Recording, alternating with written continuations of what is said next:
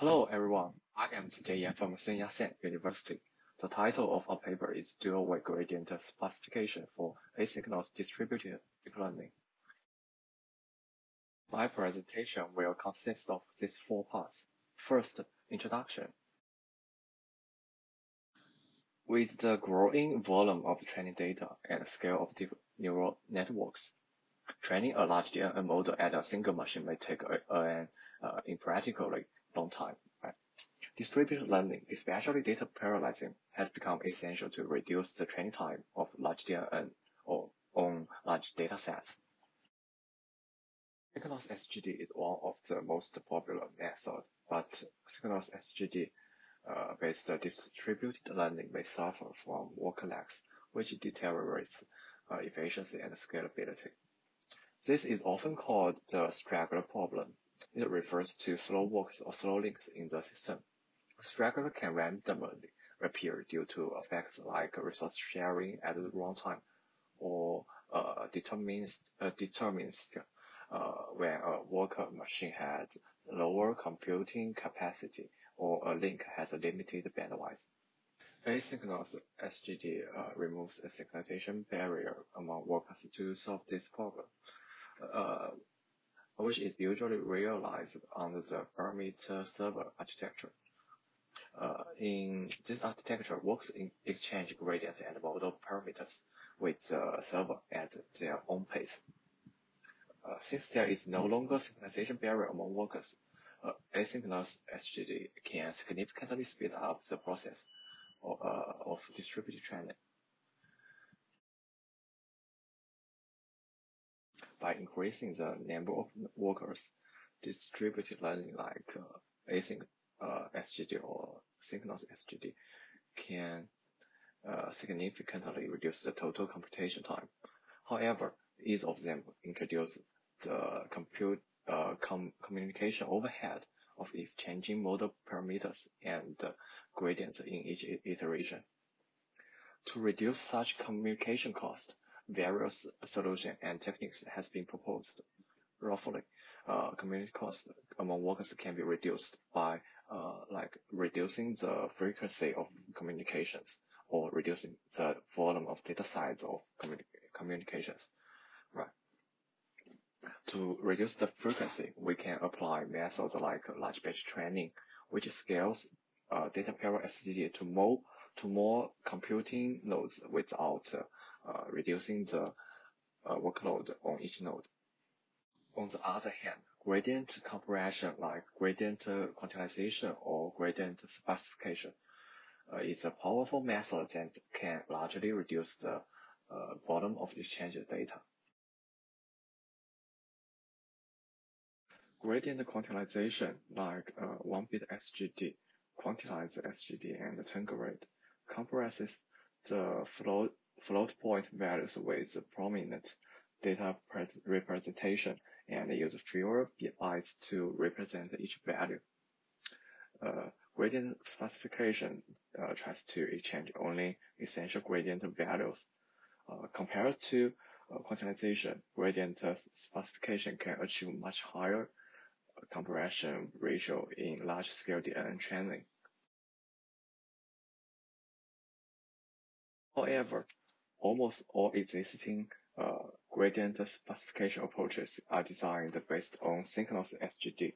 Uh, they can only used for uh, synchronous training. In asynchronous training with uh, async SGD, uh, since workers may be using different model per parameters at the same time, they need to download the whole model from the server.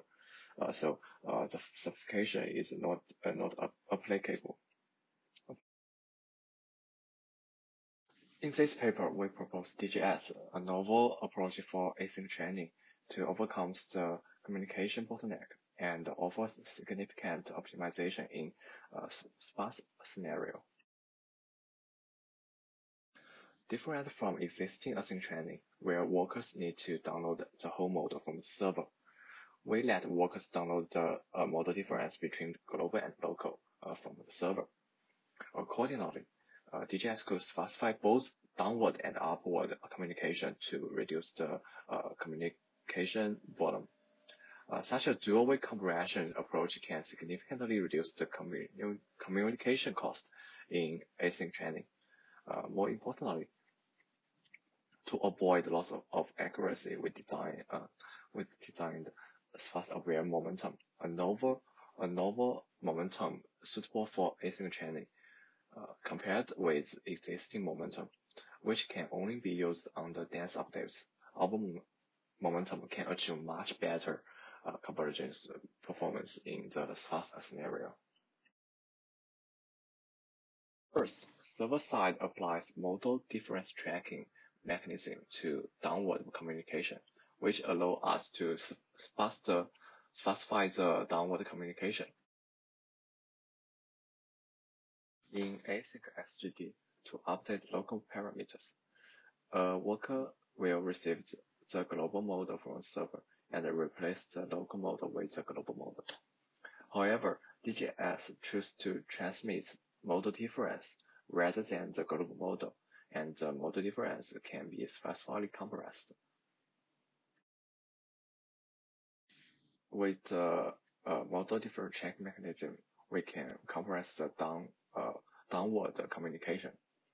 Uh, so next, we will look into the implementation of dual-way gradient sparsification operations, which has two parts, uh, in the work side and the uh, server side. In the worker side, we can simply regard the model difference as accumulated gradients.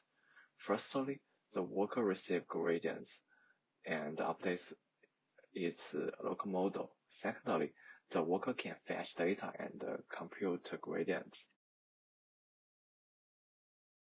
Thirdly, it selects top uh, top R percent uh, gradients, and finally, the worker sends selected gradients to the server.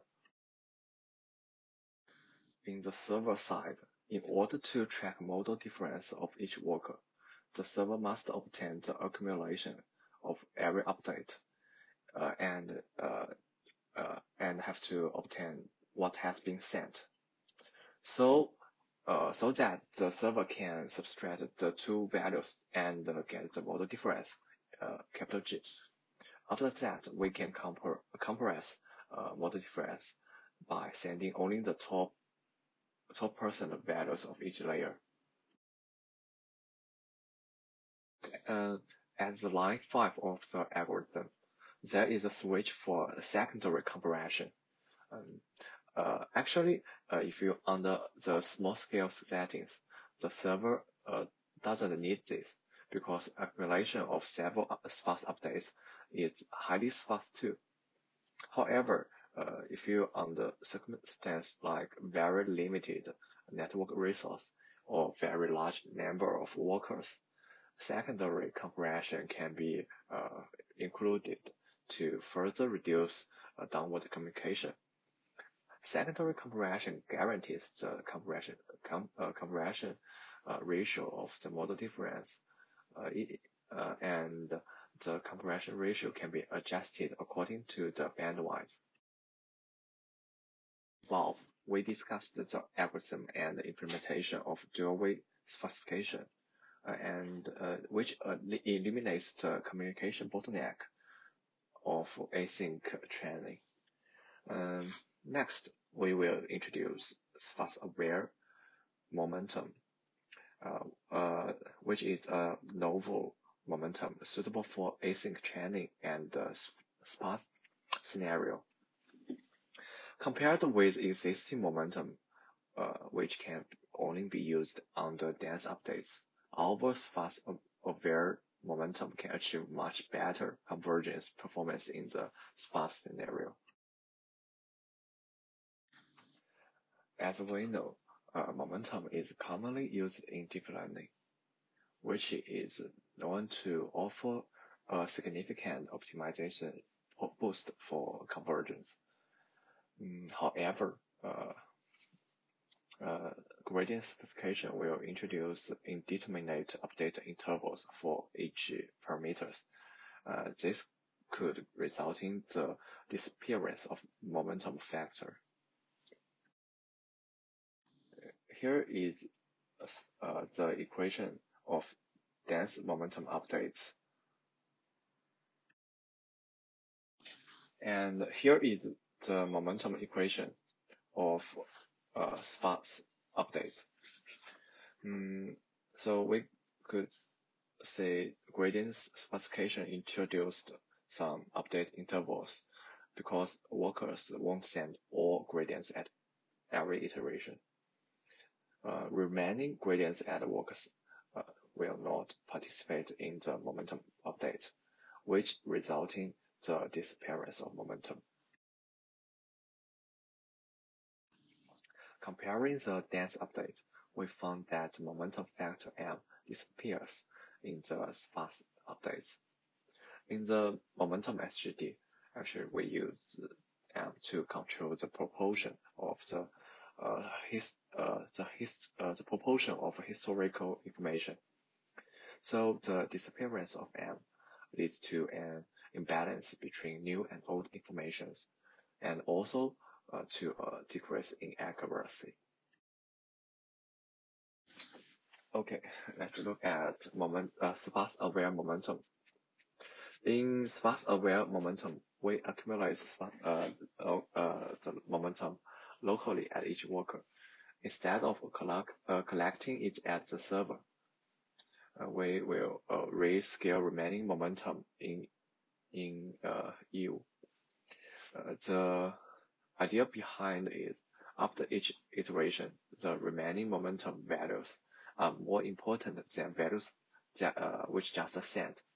So it is reasonable to magnify the unsent gradients. From parameter perspective, if we send gradients at time c and uh, time c plus capital T, a simple derivation reveals that momentum can be viewed as an accumulation of several batches.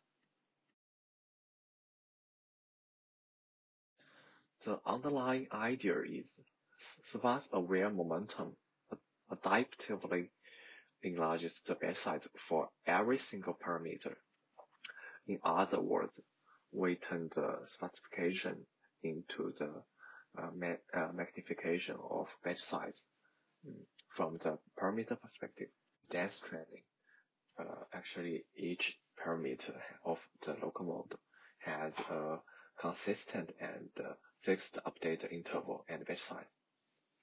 However, sparsification techniques like uh, drop part of gradients um, introduce different update intervals to uh, each parameters because uh, workers only send part of gradient in each iteration. Uh, this change makes each parameters has have their has their own async update interval. Therefore, uh, sparse-aware momentum adjusts the batch size of each parameters according to its update interval. Previous study on gradient sparsification always keep tracking of the remaining gradients so as to uh, avoid um, information loss. Actually, uh, different from previous works uh, with uh, sparse-aware momentum, uh, the update does not need to accumulate remaining gradients anymore. Such an advantage comes from the equivalence to enlarged batch size transformation because increasing the batch size actually does not cause truncation, uh, truncation of gradients. Here is our uh, experiments setup. We compare DGS with two types of, of algorithm. The first is dense algorithm like single node SGD and async SGD. Uh, the second is uh, some sparse algorithm like uh, gradient dropping and uh, deep gradient compressions. In this CIFAR10 result table, we can observe that the test accuracy decreases as the number of workers increases. This is because with more nodes, a, a, uh, uh, uh, async SGD brings more staleness. Compared to other approaches, our approach achieves the best accuracy, and uh, accuracy only drops a little bit due to the uh, Uh, large number of workers. ImageNet that results demonstrate the scalability of DGS on large dataset.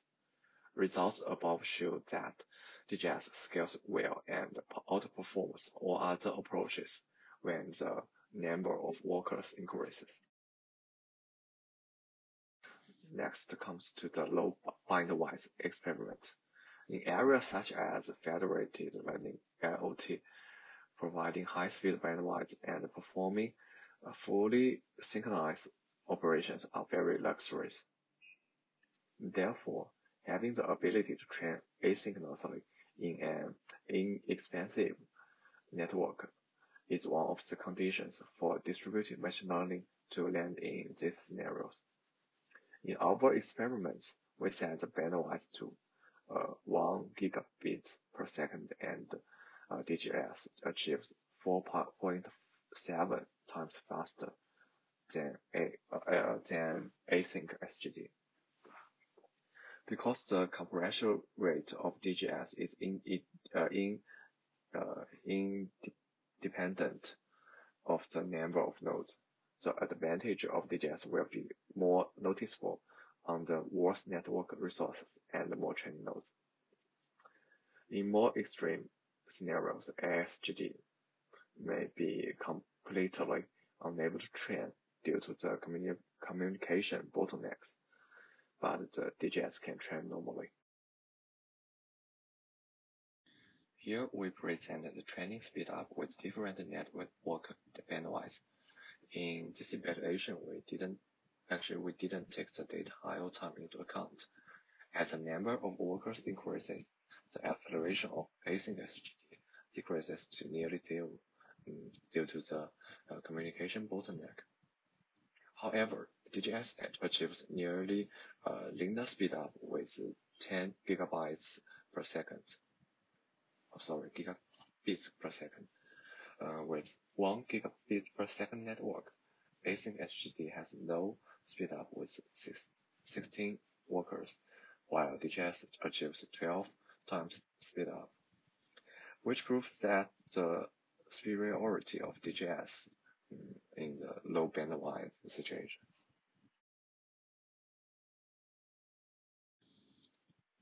In conclusion, actually, I think recent studies mainly focus on solving uh, the bottleneck of gradient exchange, but uh, here has two issues. The first, uh, the downward communication of async training is a model exchange, which is unsuitable for gradient sparsification and could cause a serious communication bottleneck.